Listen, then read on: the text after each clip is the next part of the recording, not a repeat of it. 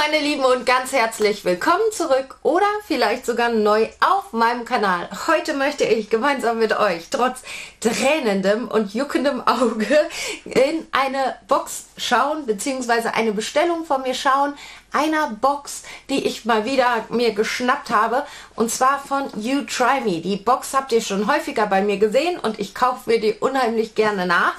Gerade wenn ich dann auch wieder von You Try Me gelockt werde und ich konnte eine Umfrage ausfüllen. Ich glaube, es hat drei Minuten gedauert und äh, ein Produkt bewerten, was ich mir in den vergangenen Boxen bestellt habe und habe dann 7 Euro Gutschein bekommen, den ich einlösen konnte auf diese kleine von mir zusammengestellte Box. Wer You Try Me nicht kennt, vielleicht kurz zur Erklärung, ist, ist ähm, eine Box, die man sich halt selbst zusammenstellen kann und das für einen richtig coolen Wert. Also normal 29,95 kostet die regulär. Ihr findet aber auch hier und da, so wie ich jetzt auch mit diesen 7 Euro, einen Gutscheincode oder Prozente oder sowas. Da könnt ihr auch einfach googeln und könnt dann noch ein bisschen was abstauben. 7 Euro waren für mich sehr verlockend, gerade wie ich gesehen habe, welche Produkte es so gibt. Und ähm, vielleicht habt ihr auch Interesse dran. Dann verlinke ich euch die Seite auf jeden Fall mal unten. Ähm, ich finde, es lohnt sich eigentlich immer, gerade wenn man weiß, was man sich für das Geld bestellt. Die haben Beauty, die haben für Haustiere Sachen, die haben richtig spannende, coole Lebensmittel, wo ich wirklich schon ein paar Favoriten her habe und man kann sich so richtig schön durchschlemmen, durchprobieren und ähm, ja, meine Box ist ein bisschen kleiner wie sonst, aber sie ist mega schwer, Leute. Ich kann sie gar nicht lange hochhalten. Ähm, ich würde sagen, Scherchen am Start und wir machen das Ganze mal auf, damit ihr mitschauen könnt, was bei mir dieses Mal mitgekommen ist. Wie gesagt, normal 29, ich glaube 95. Ähm, und ich, ich, finde auch, man kriegt da echt immer viel von.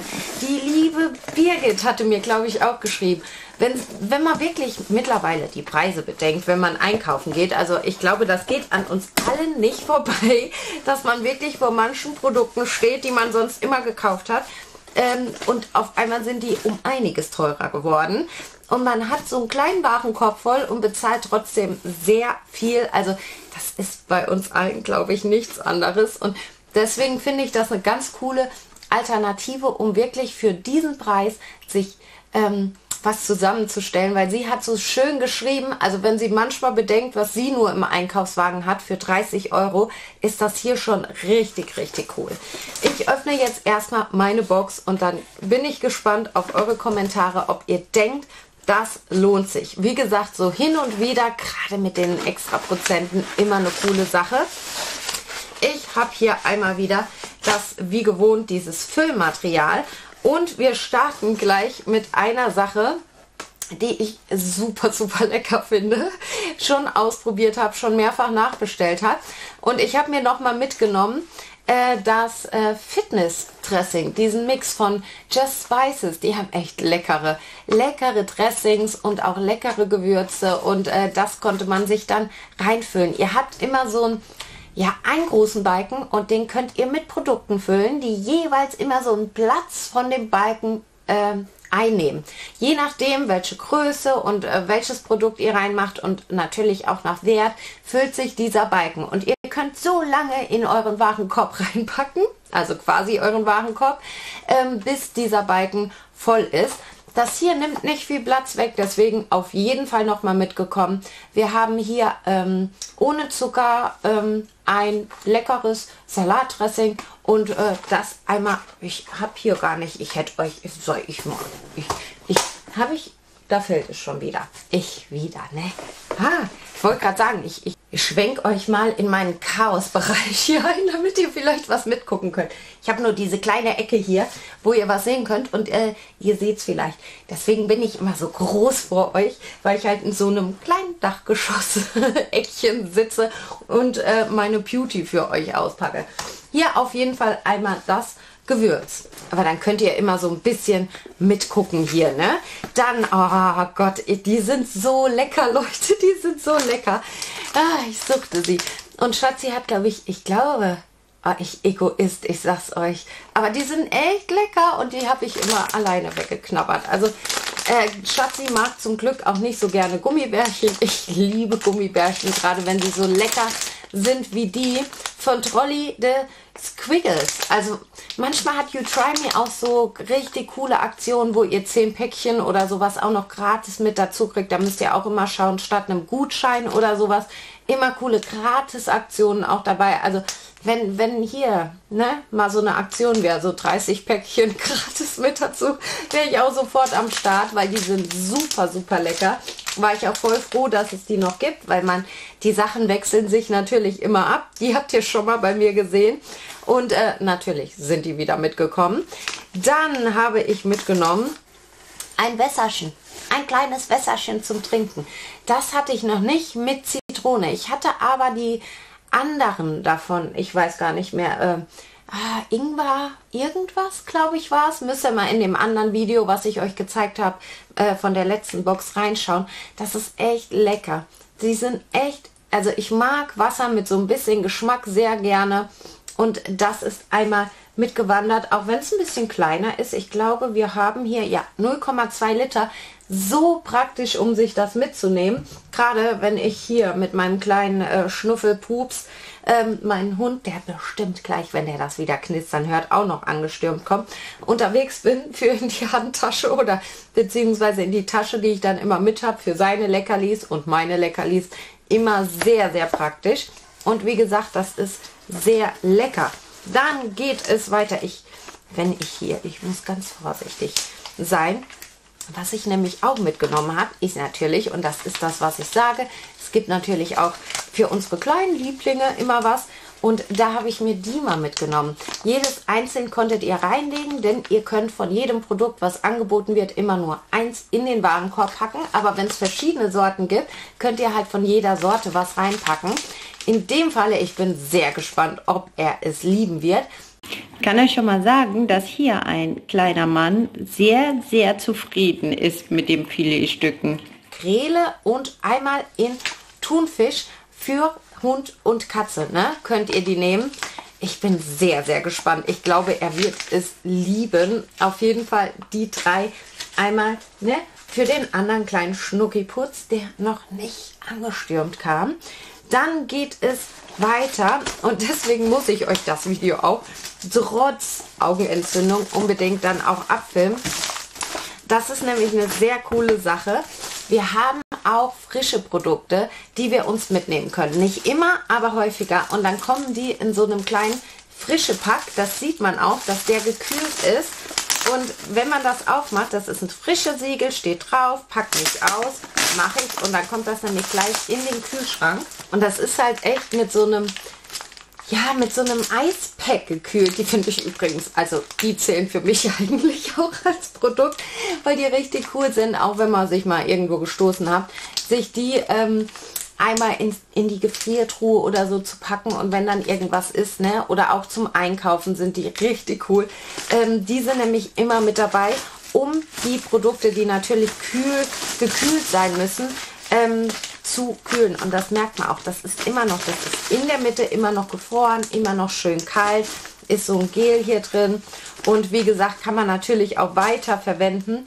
Und das ist da drin, weil ich mir mitgenommen habe. Ich bin mega gespannt, wie das schmeckt. Veganer Bacon mit Chili. Das finde ich sehr, sehr interessant. Also wirklich, veganen Bacon hatte ich noch nie probiert. Das Ganze noch mit Chili. Das könnte echt lecker sein. Wird bestimmt trotzdem schön knusprig und äh, frei von Zusatzstoffen. Ist von Billy Green. Die Marke habe ich noch nirgends gesehen. Muss ich mal nachschauen auf jeden Fall einmal das hier mit drin. Dann geht es weiter. Ähm, ah, das ist, ja, weiß ich nicht. Ist das interessant für euch? Ich habe auf jeden Fall mitgenommen. Einmal hier von Cottonelle feuchtes Toilettenpapier. Ne? Das ist manchmal ganz angenehm und auch für Schatzi ganz angenehm. Da habe ich normal welches aus dem Lidl, was wir gerne verwenden. Da habe ich nochmal anderes, was wir auch gerne verwenden. Jetzt wollte ich das einfach mal austesten und äh, habe das mitgenommen. Ist hyperallergen und parfümfrei und äh, ja, ne? Das werdet ihr vielleicht auch irgendwann in einem Aufgebrauch-Video äh, sehen. Ne? Da packe ich ja auch mal gerne hier. Wenn es irgendwas Spannendes zu berichten gibt über Toilettenpapier, packe ich euch das natürlich auch immer mit in meine Aufgebraucht-Videos. Dann geht es weiter. Sieht man überhaupt diesen kleinen Berg so? Ne, noch nicht so richtig, ne? Weiter geht es mit etwas und das kann Schatzi gerade sehr, sehr gut gebrauchen. Der kränkelt nämlich auch ein bisschen rum. Ich habe schon etwas hinter mir. Ne, bei diesem Wetterumschwung hier die ganze Zeit. Einmal sitzt man hier schwitzend, einmal im Pulli. Auf jeden Fall habe ich hier mitgenommen von ähm, Emsan Bad Emser Pastillen. Halstabletten mit Zuck, ohne Zucker und mit Holunder bei Halsschmerzen, Hustenreiz und Heiserkeit. Ne? Auch gerade wenn es dann wirklich äh, dem Winter entgegengeht, muss man sowas auch im Haus haben. Also bei uns geht es schon vorher, denke ich mal, weg. Sechs Stück sind hier einmal mit drin, aber die äh, fand ich mega praktisch und habe die auch einmal noch mir geschnappt. Dann ist mitgekommen, da bin ich gespannt, wie die diesmal schmecken. Quinoa Pasta Fusilli von Bio von Con Coronilla. Hm, ich und wieder die Markennamen, ne? So sehen die einmal aus, ganz, ähm, also wie normale Fusilis, ein bisschen heller und die sind halt irgendwie mit Quinoa. Drei Portionen sollen das sein. Ich liebe diese Portionsangaben, Aufpackungen. Ihr auch? Also ganz ehrlich, ich habe das so oft, da steht eine Portion und ich denke mir, nee, das ist noch nicht eine halbe. Naja, wir haben hier auf jeden Fall mal die Packung. Da gab es auch noch verschiedene Sorten und auch Spaghetti. Die habe ich erstmal nicht mitgenommen, weil ich erstmal die ausprobieren wollte, weil mir diese ein oh, Linsennudeln waren das, meine ich. Die haben mir auf jeden Fall nicht geschmeckt. Ähm, hier haben wir übrigens 250 Gramm einmal mit drin. Ne? Also ein Portionchen für mich von den sind bio, sind vegan, sind glutenfrei und äh, ja, ne, möchten ausgetestet werden. Dann einmal ist mitgekommen, und das zeige ich euch auch gleich im Doppelpack, weil da gab es jetzt noch mal eine andere Sorte von. Ja, ich mag Thunfisch unheimlich gerne. Und äh, ich bin nicht so der große Fischesser, aber Thunfisch liebe ich. Ähm, einmal die zwei habe ich mir mitgenommen. In Aufguss Natur ist einmal hier und einmal in Sonnenblumenöl. Auf jeden Fall von der Deutsche See Fischmanufaktur. 185 Gramm sind da übrigens mit drin. Super lecker und ich liebe Thunfischnudeln auch. Also so eine richtig leckere Thunfischsoße und äh, da passt das wunderbar. Kann ich mal noch mal kochen und habe hier meinen Thunfisch gleich am Start. Einmal die zwei äh, auch mitgekommen. Dann geht es hier, ich glaube jetzt, ich weiß gar nicht mehr, was ich noch alles da reingepackt habe. Auf jeden Fall, auf jeden Fall. Und das habe ich euch nicht aufgehoben. Ähm, das war so lecker, Leute. Ich habe das so gesuchtet. Da muss ich auch unbedingt schauen, wo man das kaufen kann. Ich liebe das. Das hat so lecker geschmeckt. Das habe ich nicht auf einmal getrunken. Das habe ich mir ja schon mal mitgenommen. Und für mich war es safe, dass ich mir das nochmal schnappe, weil ich das echt mega gut fand. Golden Oat, Kurkuma und Ingwer ist hier mit drin. Plant Magic und Co. heißt die Marke. Ein Hafermix-Drink. Ich fand den vom Geschmack her auch mega, mega lecker und habe den echt ein bisschen gesuchtet. Nix für Schatzi. Für mich, wie gesagt, sehr lecker. Ähm, und deswegen bin ich auch gespannt, und das habe ich beim letzten Mal mich nicht mitgenommen, wie das hier schmecken wird. Das ist nämlich eine andere Variante davon, die ich noch nicht getestet habe. Und die ist mit Matcha, äh, Oat, Moringa und Ingwer einmal. Die zwei kleinen, das hier wie gesagt ist so voll mein Geschmack und super lecker. Ich bin gespannt, wie, wie das andere schmecken wird. Dann sehe ich hier einmal an der Seite noch meine kleinen Kaffeegenüsse, die ich mir noch geschnappt habe. Ähm, die gab es nämlich in Cappuccino und Macchiato, so ein kaltes Kaffeegetränk, quasi einmal von Rauch. So sehen die aus, ne? Einmal wie gesagt in Cappuccino, einmal in Macchiato. Ich mag sowas super gerne. Ihr wisst von meiner kleinen Kaffeesucht, deswegen natürlich kamen die auch einmal mit. Ich habe hier schon wieder gar keinen Platz mehr, aber es wird hier fleißig dabei gequetscht. Und dann habe ich hier noch etwas sehr eingepacktes und das sind zwei Tuben. Einmal, oh, die ist so lecker, Leute. Ich liebe diese Marmelade. Äh, das ist von Marmetube. Einmal die Brombeer-Marmelade, äh, die es dort auch gab. Ich kenne die schon, ich habe die schon häufiger gegessen und die ist super, super lecker. 220 Gramm ohne Kerne und Fruchtstücke. Ich finde die auch super, wenn ihr irgendwelche Soßen macht oder so und ihr braucht so ein bisschen dieses Süße da rein, ist das auch eine mega Marmelade, mit der ihr super kochen könnt. Praktisch in diesem Spender und wie gesagt, die schmeckt echt, echt lecker. Habe ich mich sehr gefreut, dass es die dann auch quasi äh, zum Einladen in den Einkaufswarenkorb gab. Und dann habe ich von Mutti, von Mutti gibt es einmal noch äh, Tomatenmark.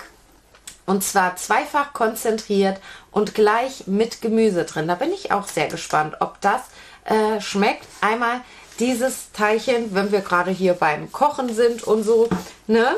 Dann kommen die nächsten zwei Teilchen einmal hier raus und das sind solche, ich habe keine Ahnung, Getränke. Ich bin auch super gespannt.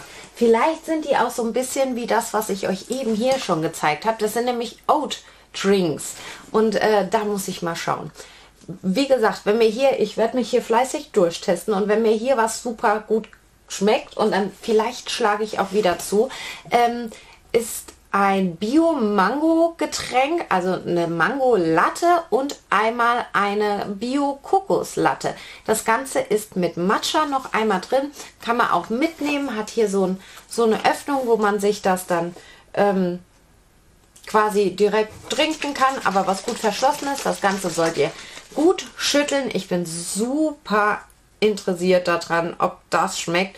Da ist auch Koffein mit drin und hier haben wir so ein Koffein-Level von 2 bei der Kokosnuss und bei Mango haben wir Koffein-Level 1. Also, ne, ich bin super, super gespannt, wie das schmecken wird. 235 Milliliter übrigens. Da gibt es auch noch andere Sorten von, wenn euch das interessiert, von Hakuma. I don't know. Ich, ich liebe es. Ne? Also da sind viele Sachen drin, die ich einfach nicht, nicht kenne und die so ein bisschen den Entdeckergeist immer wecken.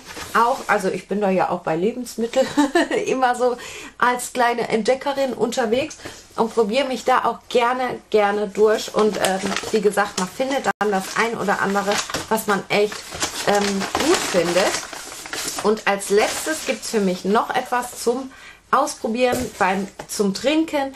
Und zwar ein veganer Trink, Blaubeer und Zitrone von Probst. Das ist ohne Alkohol. Ne? Ich dachte erst, es wäre vielleicht mit Alkohol, aber das ist eine Blaubeer-Zitronen-Limonade.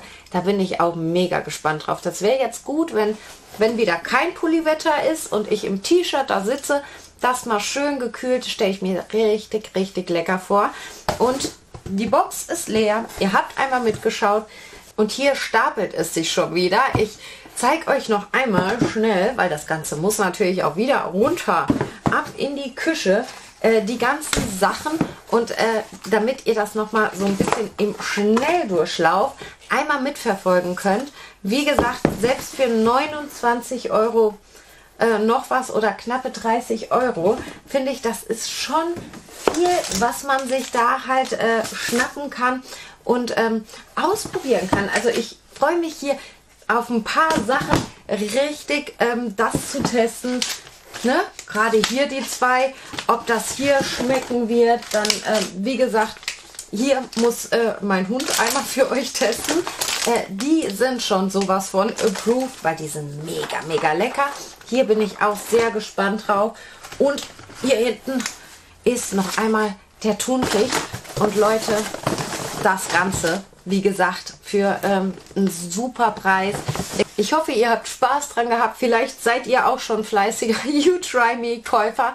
Also ich finde es immer super spannend. Gerade wenn dann immer neue Produkte reinkommen und ich stöber dann immer so von Zeit zu Zeit mal rein und guck, was es so Neues gibt und freue mich dann auch teilweise, wenn es dann noch ne, alte Schätzchen gibt, die man sich ähm, nachschnappen kann. Ich habe mir auch dieses Jahr, da bin ich auch mega gespannt drauf, äh, den You Try Me Adventskalender bestellt.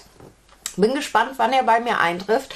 Auch da kann ich euch vielleicht mal den Link unten reinpacken, wenn ich ihn finde.